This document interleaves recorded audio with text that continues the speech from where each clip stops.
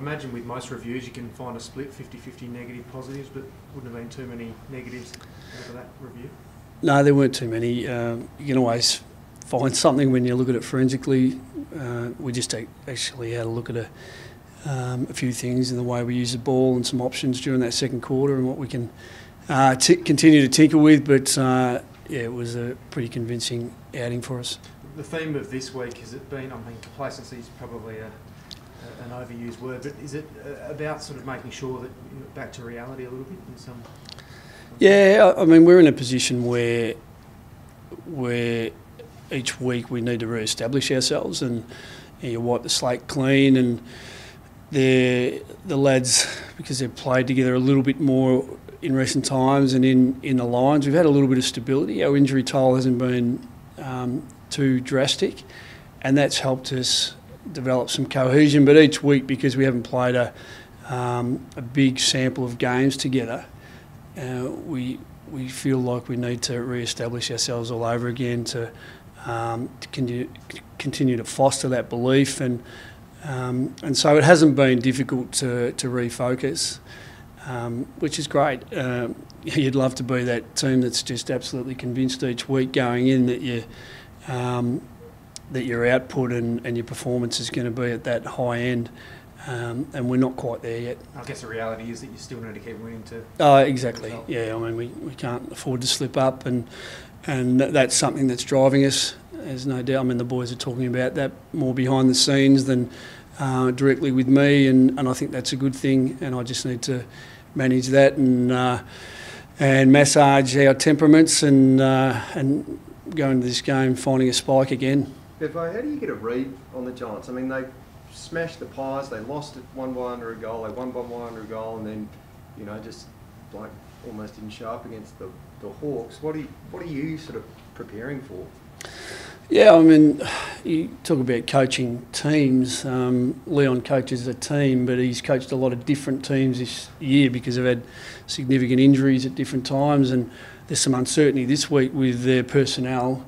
So they'll have a different team again. So uh, that uncertainty, I mentioned it last week, is not always a good thing for the opposition team in planning because you there's no foothold on what they're going to look like and, and what they're actually doing. So um, there's a there's an element of um, um, you know sort of insecurity from our point of view because we don't we don't know exactly what we're going to get. But what I do know is uh, they've had a game or two when they haven't um, performed as well as they would have liked, and I think the the prime example is when Hawthorn beat them the first time, and then they came out and um, and put a significant margin on Carlton the next week, and, and you could probably see the difference in performances from week to week. Uh, so we're expecting uh, that spike from them. Uh, I'm sure that they wouldn't have been uh, over the moon with their performance last week in the snow, and uh, and so we'll, we know what's coming. Is it mentally and physically exhausting and draining for you, and also for the players to you know, obviously every week is about thinking that week, but particularly for these final two weeks? Uh, not, not really. I mean, the challenge is to get your mind right. You know, if we're talking about the mentality or the psychology of it, is to get your mind right and focus on the things that matter. And when you've got um, great people around the players, supporting them and helping them do that, um, it makes it a little bit easier.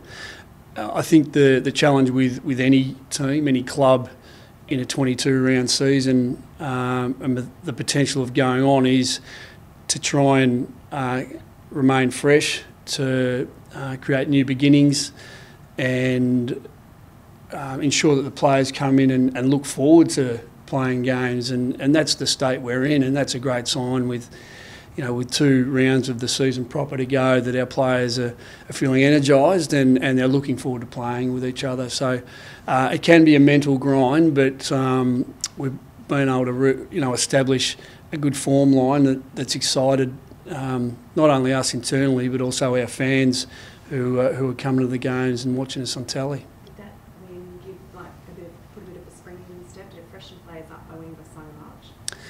Well, it's un- obviously unusual to, to do that. We've had some uh, some promising victories over the over the year, but definitely in the second half of the year where um, you know, we're looking for sus- sustainability. You know, we, we want to be able to pull this off week to week. I mean, 100 point wins you're not going to be able to do every week, but um, but we feel like our, our method and the way we're playing together, although we'll, we'll be challenged again this week, um, as long as we're ready for it, um, you know, we, we, we feel like it'll stack up.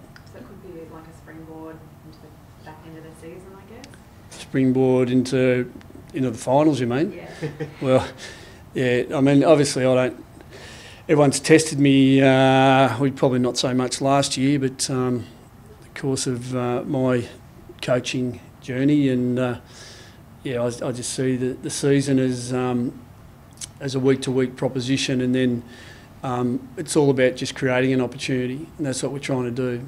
And uh, we need to win both games to create that opportunity, and then and then we can talk about that, that other aspect if we get there. But uh, we've got a way to go. Are you able to give us an update on um, Dale Morris and your discussions with him since last week? Yeah, well, I I just spoke to him again before, but it's it's uh, the status quo really from our point of view, and Dale's still um, he's he's processing what his options are, and I, I imagine over the course of um, the next week or two, we'll be able to give you something in the public domain.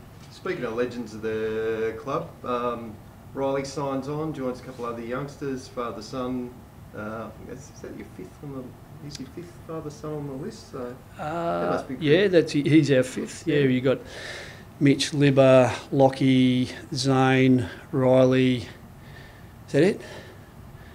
Yep. yeah, so he's shown some pretty good form this year. Is that sort of what sealed the deal for him as far as moving forward?